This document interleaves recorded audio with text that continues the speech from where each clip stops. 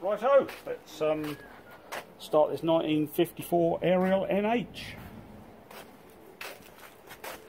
So, turn the petrol on, petrol on, petrol on. One is the main, the other side is the reserve. Tickle carburetor.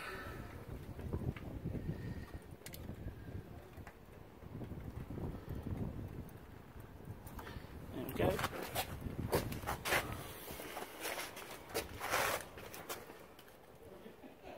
This is your choke. All self-explanatory, look, idiot-proof.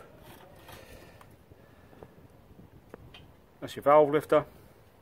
And this one's your ignition. That's advanced. That's retarded. Now, back the ignition off a little bit.